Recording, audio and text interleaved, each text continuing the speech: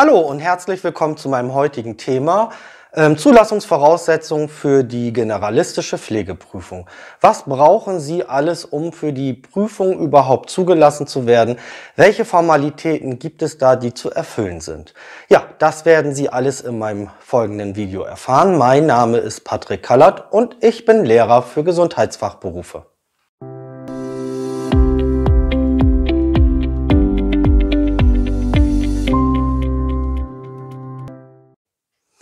Falls Ihnen das gefällt, was ich hier so umsetze und falls Sie mich unterstützen möchten und mehr erfahren möchten über ähm, Gesundheitsfachberufe, dann würde ich mich freuen, wenn Sie mich abonnieren und mir einen Daumen hoch hinterlassen. Um für die Prüfung zugelassen zu werden, bedarf es zunächst einmal einen Antrag. Ein Antrag zur Zulassung zur Prüfung. Ja, und dieser Antrag wird in der Regel ähm, als Sammelantrag erstellt, sodass der gesamte Kurs dann einen Antrag stellt an die Behörde geht. Denn für die Ausbildungs- und Prüfungsverordnung ist die Schulbehörde für zuständig und die reguliert das. Und diese Schulbehörde stellt dann auch den Prüfungsvorsitz. Entweder durch die Behörde selbst oder die Behörde benennt einen Menschen, eine Person, der die dann den Prüfungsvorsitz übernimmt. Ja, um eben halt dann auch zugelassen zu werden, müssen Sie nachweisen können, dass es sie tatsächlich gibt in Persona so dass sie dann auch einen gültigen Personalausweis vorzeigen müssen in beglaubigter Kopie. Das heißt, hier geht es darum, letztendlich zu sagen, ja, mein Name ist und hier steht auch mein Name drauf. Ja, der nächste Punkt ähm, ist sehr wichtig. Sie müssen aufzeigen können, dass Sie eine praktische Ausbildung erlebt haben. Ja, und hier hat jede Schule unterschiedliche ähm, Formblätter. Ne? Im Rahmen eines Ausbildungsordners, kann aber auch digital sein. Denn Sie als Auszubildenden müssen aufzeigen, dass Sie die gesamten Praxiseinsätze erlebt und umgesetzt haben. Ja, welche Praxiseinsätze in der generalistischen Pflegeausbildung möglich sind, werde ich hier oben einmal verlinken. Da habe ich hierzu auch schon ein Video gemacht. Ja, worum geht es hier? Ähm, hier müssen Sie aufzeigen, dass die gewissen Stunden in gewisse Bereiche umgesetzt worden sind. Besonders die Bereiche der Pflichteinsätze ähm, im Bereich zum Beispiel der Psychiatrie und der Pädiatrie müssen Sie unbedingt diesen Einsatz auch erlebt und umgesetzt haben. Wenn Sie ähm, länger erkrankt sind in diesen Pflichteinsätzen und mehr als 10% in diesem Pflichteinsatz gefehlt haben, ist dieser Pflichteinsatz nicht erfolgreich umgesetzt und hier besteht dann die Gefahr, dass die Zulassung ähm, entzogen wird, so dass Sie ähm, hier ähm, gegebenenfalls nicht zur Prüfung zugelassen werden. Deshalb ist es sehr wichtig, dass Sie besonders auch in diesen kurzen Einsätzen ähm, Ihre Anwesenheit ähm, erfüllen. Ja, das heißt also, es gibt Pflichteinsätze, es gibt ja den Orientierungseinsatz, äh, dann die Pflicht, wie schon gesagt. Dann gibt es die Vertiefungseinsätze und hier muss man auf die Stundenzahl kommen und das im Rahmen von einem Stundenzettel eben halt auch aufzeigen. Ja, hinzu kommt, dass Sie dann auch Nachtdienste abdecken müssen. Auch diese müssten eben halt dann bescheinigt werden. Dann gibt es ja auch noch die gezielte Praxisanleitung. Die gezielte Praxisanleitung soll in diesen Einsätzen ähm, 10% der Einsatzzeit erfolgen und die müssen dokumentiert werden. Das ist ganz wichtig, denn die Schule setzt sich dann an diesem Ausbildungsordner hin und schaut sich dann an, ob sie dann auch eben halt ihre Pflichteinsätze und die Praxisbegleitung in den Einrichtungen erfüllt haben. Ja, zu den ähm, Praxisanleitungen von 10 Prozent ähm, kommt ja hin und wieder auch mal die Schule in die Einrichtung. Hilfe, die Schule kommt in die Einrichtung.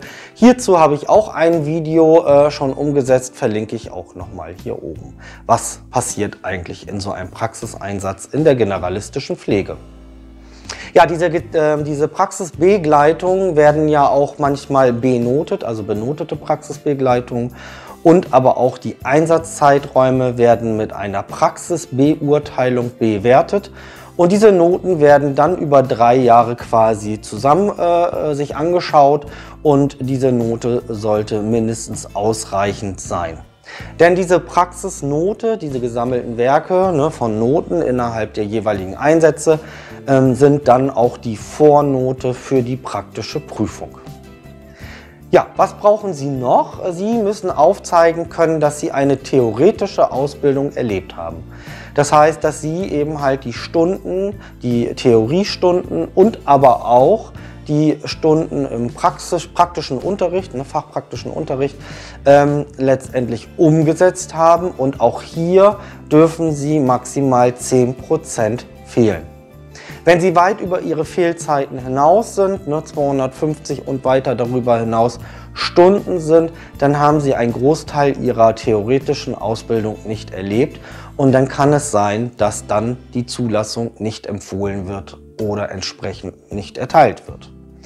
Ja, die Schule ähm, hat hier die Aufsichtsfunktion. Ähm, sie überprüft die Ausbildungsordner, sie überprüft auch, ob sie ähm, auf ihre Stunden da gekommen sind. Die Schule überprüft auch, wie oft und wie lange sie gefehlt haben und würde dann im Rahmen einer Zulassungskonferenz der ähm, Schulbehörde empfehlen, ist zugelassen oder ist nicht zugelassen. Gewisse Eckdaten müssen der Schulbehörde auch ähm, bekannt gemacht werden, entweder in ein Portal hochgeladen werden, so dass die hier auch einen Einblick bekommen, ob sie gewisse Rahmenbedingungen äh, entsprechend erfüllen. Die berufsbezogenen Lernbereiche haben hier eine besonders hohe Relevanz. Diese müssen mindestens über drei Jahre mit den Zeugnissen auf ausreichend, also mindestens ausreichend sein.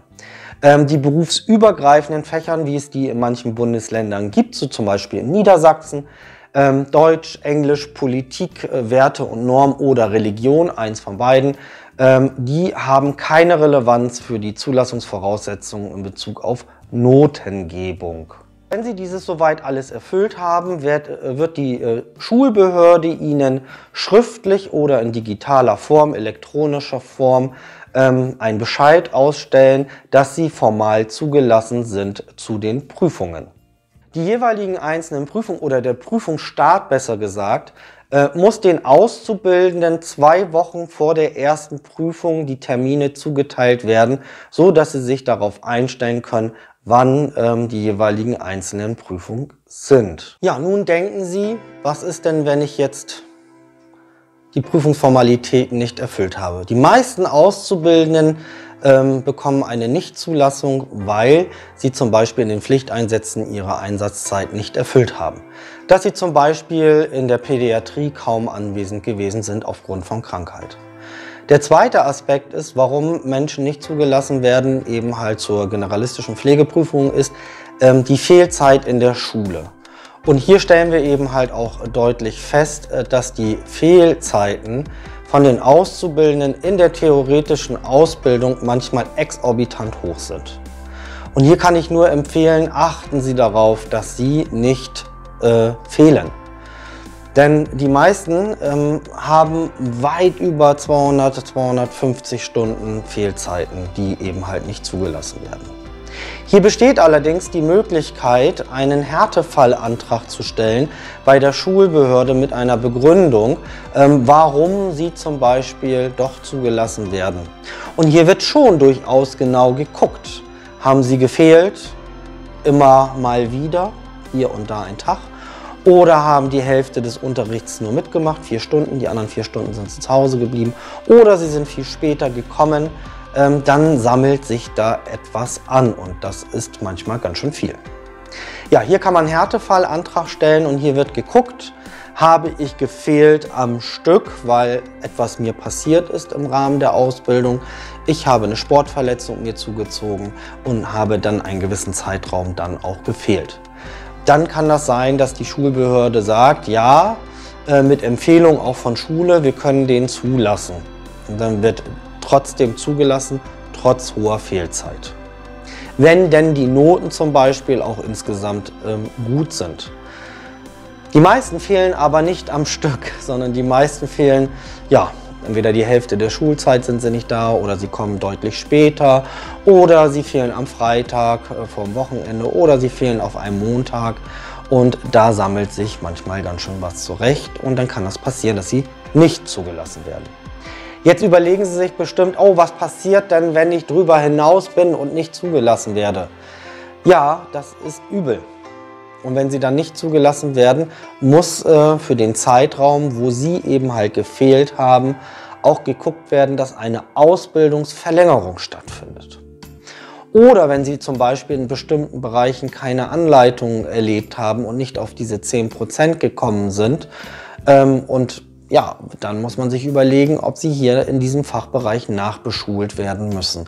Oder wenn sie zum Beispiel den pädiatrischen oder psychiatrischen Einsatz ähm, gefehlt haben, dann müssen sie hier die Stunden eben halt dann auch nacharbeiten, um dann entsprechend auch zugelassen zu werden. Ja, und dann haben sie formal letztendlich die Zulassung äh, bekommen. Für die Prüfungen können dann auch an allen Teilen der Prüfung teilnehmen. Wenn sie denn diese Prüfung alle drei Teile mit mindestens ausreichend äh, bestanden haben, ähm, dann haben Sie die Prüfung erfolgreich absolviert. Dann bekommen Sie hierzu auch ein Prüfungszeugnis. Die Berufsurkunde oder die Zustellung der Berufsurkunde, um die Erlaubnis zu haben, äh, den Beruf Pflegefachmann oder Fachfrau ähm, den Namen führen zu dürfen, hierzu ist eine andere Behörde zuständig.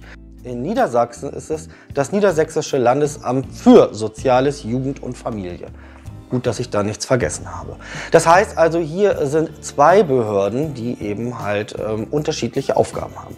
Die Schulbehörde schaut sich die Ausbildungs- und Prüfungsverordnung an, dass es alles regelhaft umgesetzt wird, dass die Schule auch ihre Aufgaben erfüllt, dass die Auszubildenden ihre ähm, ähm Formalitäten umgesetzt haben und nachweisen können, eine Ausbildung erlebt zu haben. Dann werden die Prüfungen umgesetzt ähm, hier wird dann eben halt die Prüfung zum Beispiel bestanden. Ja, nun habe ich das schon mal erlebt, dass dann die Prüfung bestanden worden sind und auch die Prüfung zugelassen ist. Nur wurde die Berufsurkunde ähm, vom Landesamt nicht erteilt. Warum kann das so sein? Denn hier gilt es nämlich noch zwei Aufgaben zu erfüllen. Ähm, für das ähm, Landesamt brauchen Sie noch, um eben halt die Berufsbezeichnung Pflegefachmann oder Pflegefachfrau führen zu dürfen, ein ähm, erweitertes polizeiliches Führungszeugnis, was von Behörde zu Behörde verschickt wird. Sollte es hier zum Beispiel ein Eintrag geben in Ihrem polizeilichen Führungszeugnis, dann muss die Behörde intensiver prüfen. Das heißt, dann wird auch die Akte äh, vom, vom Gericht quasi ähm, eingefordert und dann wird sich detailliert angeschaut, ähm, was überhaupt stattgefunden hat. Und dann kann das sein, dass die, äh, das Landesamt dann sagt, ähm, wir erteilen Ihnen keine Berufsurkunde zu. Sie dürfen sich nicht Pflegefachmann oder Pflegefachfrau nennen, weil Sie ähm, quasi die, das Vertrauen und die Verlässlichkeit nicht aufzeigen, äh, diesen Beruf auch so ausüben zu können. Ja, das wäre dann ganz schön hart, weil sie dürfen sich dann auch nicht Pflegefachkraft nennen und dürfen auch als solche nicht arbeiten. Ähm, ich habe aber erlebt, dass es da auch ähm, Lösungsmöglichkeiten gibt, dass das Landesamt dann gewisse Auflagen erteilt, zum Beispiel wenn die Bewährungszeit um ist, also wenn jemand rechtskräftig verurteilt wurde und eine Bewährungsfrist bekommen hat, dass dann nach der Bewährungsfrist und ein weiterer Zeitraum, wenn sich da nicht zu Schulden gekommen lassen wurde, darf dann die Berufsurkunde zugeteilt werden. Also muss man schon differenzieren. Ja, wir sind zur Prüfung zugelassen. Wir dürfen die Prüfungen auch alle absolvieren. Aber dann haben wir auf der anderen Seite noch das Landesamt, was wiederum auch ähm, eine Mitsprache hat, ob man diese Berufsbezeichnung führen darf oder nicht. Und hier sollte es doch ein lupenreines polizeiliches Führungszeugnis sein. Wenn Sie Einträge haben und diese zum Beispiel im Verlauf der Ausbildung kommt das dann zu einem ähm, Rechtsurteil, äh, würde ich Ihnen empfehlen, äh, sich äh, an die Schule zu wenden, in Vertrauen an die Schule zu wenden und das entsprechend dort dann auch zu besprechen. Ja, ein weiterer Aspekt, äh, den Sie auch noch benötigen, ist ein äh, Gesundheitszeugnis. Hier wird dann attestiert, dass Sie körperlich und psychisch in der Lage sind, diese Ausbildung umzusetzen. Äh, nicht diese Ausbildung, sondern dem, ja, am Anfang der Ausbildung muss das auch sein. Aber am Ende, dass Sie dann eben halt Ihren Beruf auch ausüben dürfen. Zum Beispiel Substanzenmissbrauch. Ne? Also wenn Sie zum Beispiel eine starke Abhängigkeitsstörung haben, ähm, und dann umgehen sollen als Pflegefachmann oder Pflegefachfrau äh, mit BTMs, dann sind hier Gefährdungen doch durchaus gegeben, wenn sie aktuell sich in dieser Abhängigkeitsstörung ähm, befinden und ähm, eben halt ja, heroinabhängig oder sonstige Substanzen letztendlich auch konsumieren. Also, Sie brauchen polizeiliches Führungszeugnis für das Landesamt. Sie brauchen ein Gesundheitsattest, dass Sie körperlich und psychisch sind in der Lage, letztendlich diese Prüfung auch zu meistern. Dann wird Ihnen auch die Berufsurkunde ausgestellt und zugeteilt. Ja, nun neigt sich das Video auch dem Ende zu. Ich hoffe, es hat Ihnen soweit gefallen. Ähm, ja, hinterlassen Sie mir einen Daumen hoch und abonnieren Sie meinen Kanal, wenn Sie mich unterstützen möchten und das gut finden, was ich hier so umsetze.